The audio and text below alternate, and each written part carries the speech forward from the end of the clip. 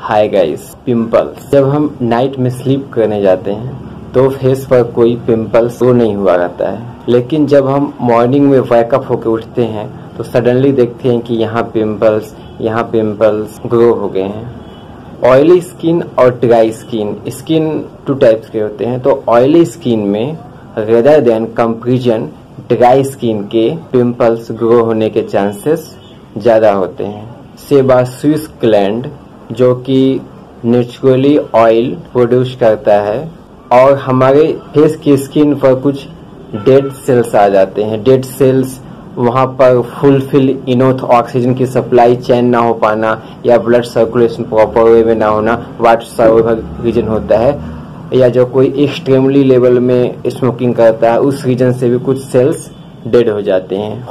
Follicle follicle मतलब ये जो छोटे छोटे छिद्र होते हैं स्किन पे, जहाँ से हेयर ग्रो करता है या फिर रोए होते हैं, वो ओपन और क्लोज ओपन और क्लोज होते हैं। तो जब वो ओपन होते हैं तो वहाँ पर ओवर ऑयली रिलीज़ हो जाता है और डेड सेल्स अक्यूमुलेट हो जाता है वहाँ पर। जो कि वो ओपन और क्लोज नहीं हो पाता है। डेड सेल और ओवर रिलीज़ ऑयल एक ब्लॉक बना लेते हैं, जहाँ पे पिंपल्स क्रिएट हो जाते हैं और इसके वाट रीजन होते हैं कि या हम ऐसा कुछ डाइट कंज्यूम करते हैं कि जिससे ऑयल ज़्यादा रिलीज़ होता है या इसके, उसके अलावा एक और होता है कि प्यूबेरिटी एज में हार्मोन्स अनबैलेंसिंग, डिसबैलेंसिंग होता है। ये किसी भी एज में होता है गदर देन ज़्यादा केसेस ये पीबीओटी एज में होता है। जो स्किन पे जो फॉलिकल छिद्र को ब्लॉक हो जाता है जो ओवर रिलीज़ ऑयल या फिर डेड स्किन से वहाँ पर बैक्टीरिया अफेक्टेड कर देता है, जो कि पिंपल्स निकल आते हैं या या पिंपल्स में कन्वर्ट हो जाता है। वाइट हेड, ब्लैक हेड ऐसा उसको बोलते हैं। 19 परसेंट केसेस में जो डिसीज होते हैं वो टम्मी से होते हैं मीन्स पेट से होता है। यदि अगर टम्मी क्लियर नहीं है या हाइजेनिक कुछ अफेक्टेड हो रहा है तो डिसीज होने के या पिंपल्स होने के चांसेस ज़्यादा हो सकते हैं। यदि आपका फेट क्लियर है या टम्मी सही है तो नेचुरल पैथी के अकॉर्डिंगली डिसीज 90 परसेंट नहीं होता है। या पिंपल्स निकलना ये किसी बाई डीएनए के अकॉर्डिंग फैम, फैमिली हिस्टोरिकल हो सकता है या फिर स्ट्रेस हो सकता है मेडिसिन का साइड इफ़ेक्ट हो सकता है। हम हमें कोई डिसीज हुआ या हुआ या कहीं पेन हुआ तो हमने किसी मेडिसिन को लिया। उस मेडिसिन के इफ़ेक्ट से वो पेन या वो डिसीज तो क्लियर हो गया, लेकिन उससे कुछ साइड इफ़ेक्ट भी आते हैं जिससे पिंपल्स के रीजन हो सकता है। Skin care product diagnosis what's reason यदि आपकी स्किन पर ज़्यादा ही पिंपल्स ग्रो आउट हो आए हैं तो आपको डर्मेटोलॉजी से कंसल्ट करना चाहिए। या फिर एक दो हैं, या फिर वो बीच बीच में एक दो निकलते रहता है तो आपको मॉर्निंग में वेकअप होने के बाद आपको वार्म वाटर से फेस वॉश करना है, जिससे स्किन के जो ब्लॉकेज है ओपन हो जाते हैं। यदि अगर आप डेली मॉर्निंग में वेकअप होके वार्म वाटर से फेस वॉश करते हैं तो पिंपल्स ग्रो होने के चांसेस कम होते हैं। और कुछ एक्सरसाइज हैं, जो कि ऑक्सीजन लेवल की सप्लाई चेन प्रॉपर में वे में होगी और ब्लड सर्कुलेशन ठीक रहेगा, कि जो को आप continue day by day follow कर सकते हैं, कुछ सम टाइम लेना पड़ेगा, जो कि कंटिन्यूसली में आप ग्रो होने के चांसेस कम रहेंगे। Follow on this yoga and exercise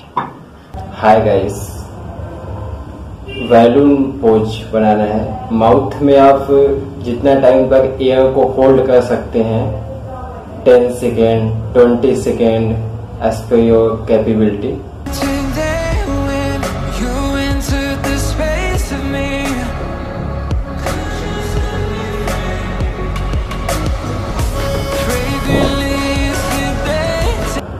ऐसे ऐसे आपको कुछ टाइम करना है.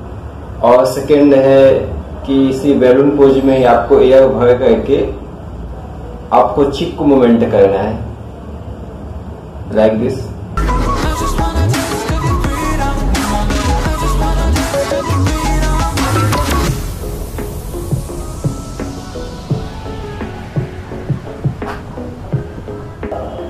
थर्ड चीज़ ये है कि आपको माउथ में स्ट्रेच क्रिएट करना है। लाइक दिस जैसे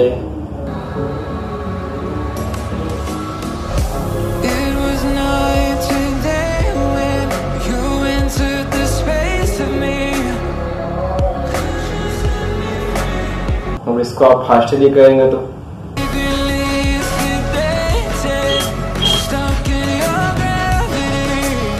नेक्स्ट करना है कि आपको एक ब्रिथ ले करके ब्रिथ कंट्रोल करके आपको ऊपर की तरफ़ देखना है।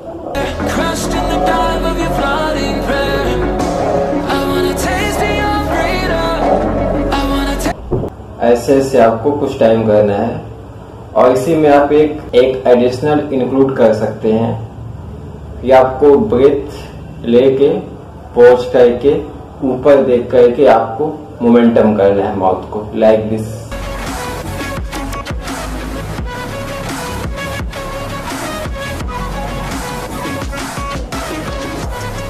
वैसे तो एक्सरसाइज बहुत सारे हैं, लेकिन ये कुछ एक्सरसाइज है जो एटलीस्ट आप कपाल भाती कर सकते हैं फाइव टू टेन मिनट